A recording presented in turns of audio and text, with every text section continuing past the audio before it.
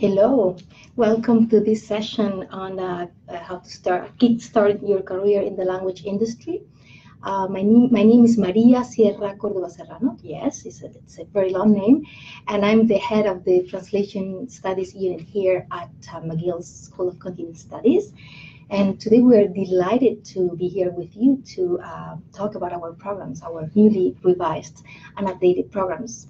Um, so the first thing that I would like to do is to, so that you know how to, do, what we are going to be doing, we're going to go through the agenda. Uh, in the first 15 minutes, we're going to give you an overview of the uh, student population that we have, uh, the language industry, our new curriculum, and, uh, and, and, and then we'll move to the specific programs that we'll be discussing uh, about today. So the first one at at 12.15, from 12.15 to 12.30 will be the certificate in translation, the uh, English to French, uh, French option. Then from 12.30 to 12.45, we'll be discussing the certificate in, uh, so the first one will be discussed in French. Uh, it will be Eric. Uh, the one presenting the um, discussing the program. The second one from 12:30 to 12:45 will be the certificate in translation, the French uh, to English option, and it will be my colleague Catherine.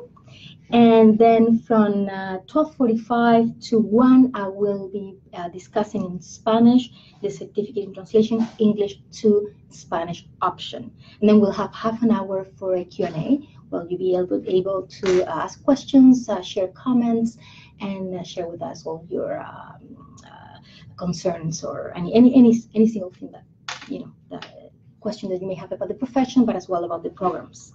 Um, this, this agenda, by the way, is available in PDF. You can download it. Yes. It will not pop up if when you click on it. It's in the. Um, you should be able to see it in the video description on the on the side, and just click on it. It will download. Um, you have to go to your downloads and click on it to open it. It will not pop up by itself, but uh, it's there. Um, we have it on the left hand side here that's perfect. So you may be consulting the PowerPoint as we are talking, and then you can keep it for later if you have, if you want to review any aspects of what we have presented today. And before moving forward, I'd like to properly introduce my colleagues. Uh, first of all, here I have Eric Dupont. Um, and uh, he has been teaching at McGill School, uh, McGill University Schools uh, of Continental Studies since 2003. Uh, after studying and working in Austria and Germany, he completed a master's and a PhD in French studies at the University of Toronto.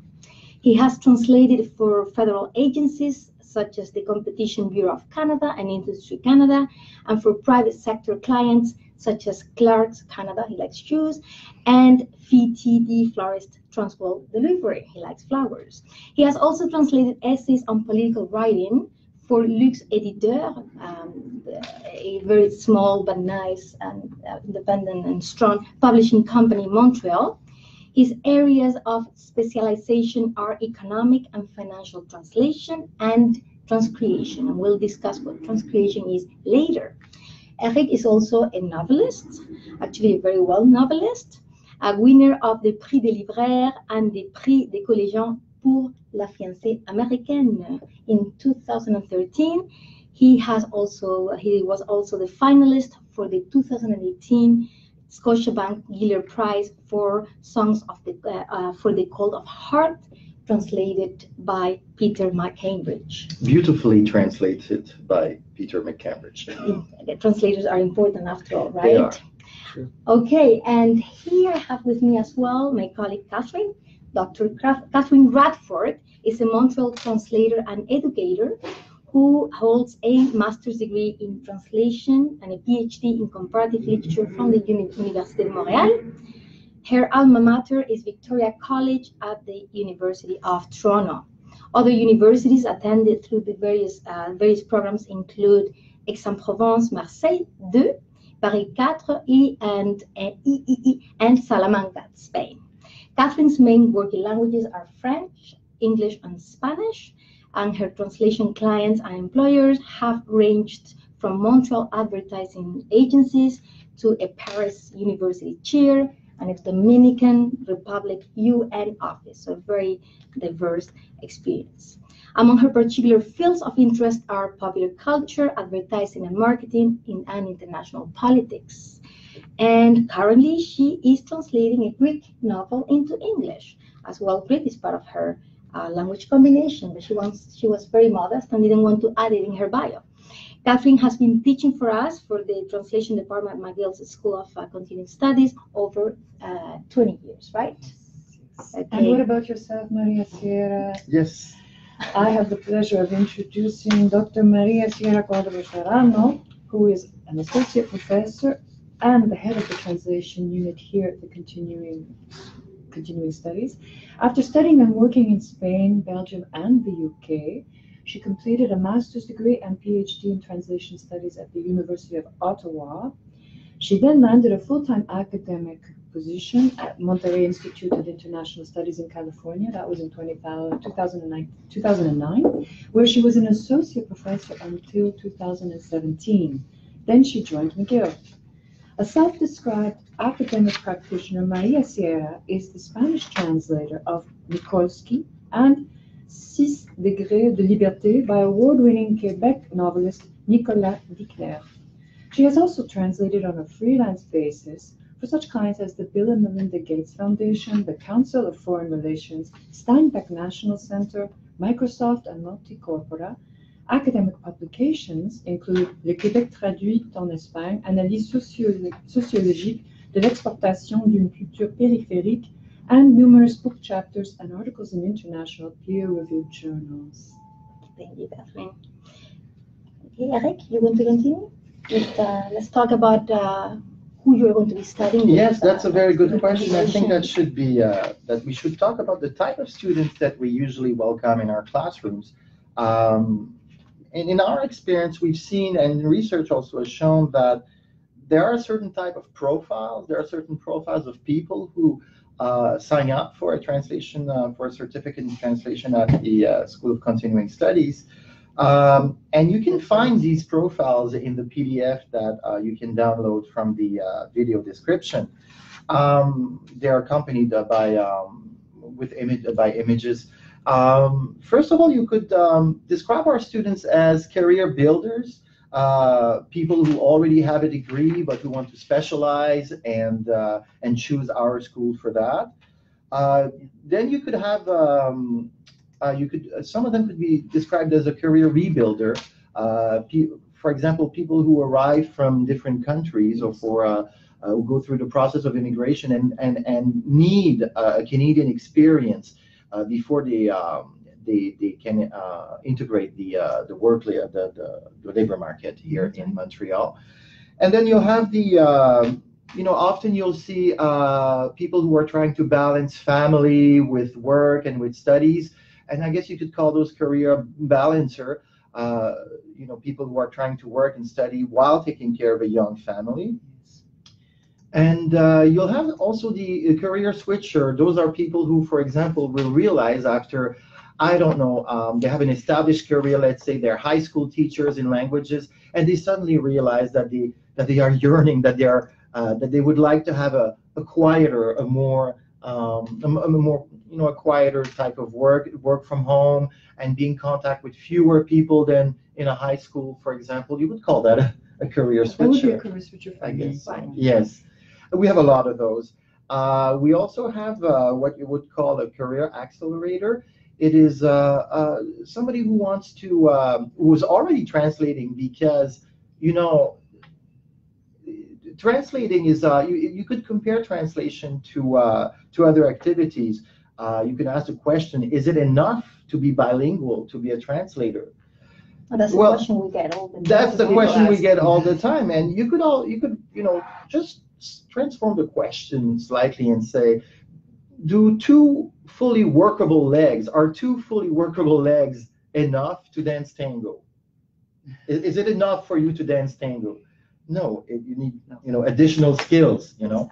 And so we have a lot of people who are very strong in their uh, target language, in their main language, who are already translating, but they need training on CAT tools, on computer assisted translation. They need to know if they're doing the right thing. They need some uh, specialization, and these career accelerators come to us. And uh, finally, you'll have uh, the career liberators, the people who uh, uh would like to travel. They want yes. to be working uh, anywhere. And with the connected world, uh, we live in a connected world nowadays, and people want to be able to to be a freelancer, let's say in Brazil, uh, just for, for argument's sake. And uh, so they will uh, they will come to us and get the skills that they need to fulfill their dreams. There yes. are also some people who come who just love learning.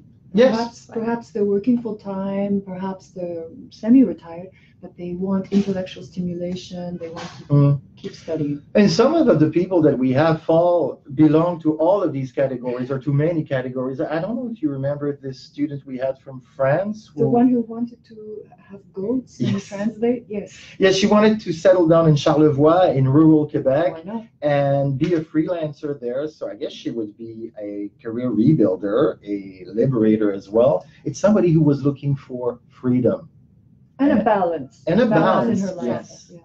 Yes. So, um, so this is a kind of two students that we welcome in uh, our classrooms. So very, very diverse uh, Mhm. student population with very different goals and, and, uh, right, and aspirations. Mhm. So, um, They really come from all paths. It is, Yeah, it is very interesting. Because what is beautiful and enriching about uh, teaching uh, in these groups is that uh, I mean, uh, they learn as much as we learn from them and their career paths and the, the you know everything that they have done and doing with them. Yes. Okay. So we're going to move now to talk very briefly because we don't have a lot of time about the uh, language industry, right, Catherine? Yes, it, it is very interesting. The, the latest statistics that we have, um, the demand for language professionals is expected to grow in the coming years across North America, particularly in Canada. The Canadian Statistics Employment and Social Development Canada has forecasted a 12% increase starting from 2016 up to 2026 in the translation department. That, that means people like translators, terminologists, and interpreters. The United States is something similar. And what is interesting to me is that translation is seen as one of the professions in the language industry and that includes copywriters, revisers, editors, terminologists, interpreters, transcreators. There's that transcreation, transcreators. Mm-hmm. We'll talk about it again. Localizers, language consultants, and translation project managers. Mm-hmm. Just to name a few. So basically, Catherine, uh, all people involved in the language industry do not necessarily translate Correct. in the end. That's correct. You may have a bilingual project manager who's not actively translating but knows about translation. And who has to know about has translation. Exactly. Yes. yes. I mean, in fact, there are project managers that do not, in the language industry, do not know about translation, and we can see the result. Yes. and so, uh, so it's very important. Uh, and, and as I was, uh, we were discussing before, sometimes you don't want a freelance uh, a job, you want an in-house uh, employ, uh, you know, a position. So then uh, you may want to be a project manager because you want to work in-house, and if you work in the, you know, in the U.S., you want benefits. That can be. There are many motivations why you would want to be in-house, or you may want to be a career liberator. Mm-hmm. Okay, so we have taken all this data. So our student population profile we have also taken data about the industry, the language industry, the changes in the language industry, and we have uh, rebuilt, we have revamped, we have revised our curriculum.